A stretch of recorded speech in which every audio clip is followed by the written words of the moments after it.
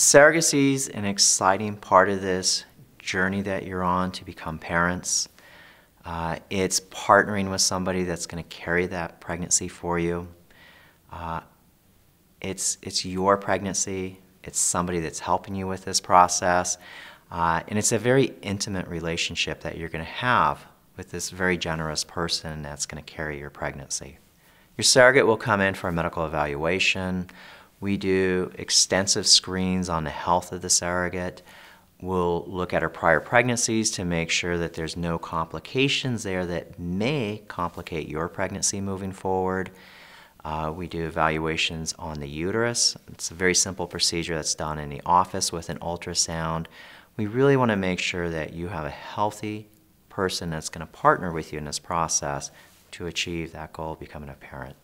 So for our couples undergoing a fresh embryo transfer, uh, it's very important that we sync up the menstrual cycles of the donor and surrogate. Their treatment needs to be coordinated in a very specific manner.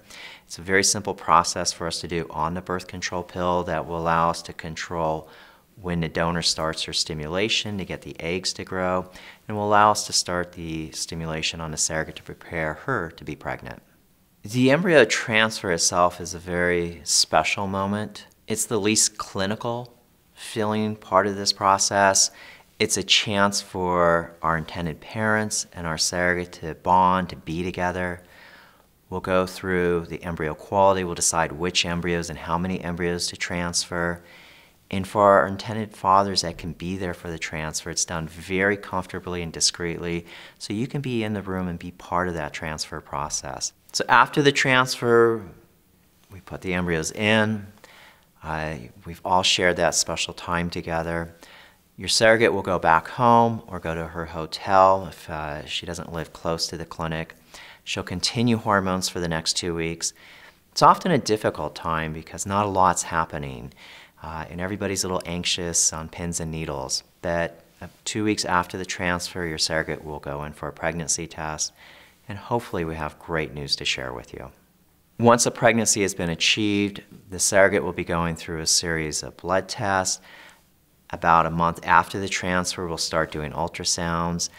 The ultrasound will see if it's a singleton, if it's twins, that's another great time for intended parents and fathers to come in and be there with their surrogates. If they can't be there, we can Skype you in. We really want this to be a bonding moment for you, your surrogate, and for your baby. We'll continue to manage the pregnancy to the end of the first trimester. Your surrogates can be on some hormones, estrogen and progesterone, to help encourage the pregnancy. We'll draw her off of those hormones by the end of the first trimester, and at that point, she returns to her obstetrician hopefully just a routine, simple pregnancy.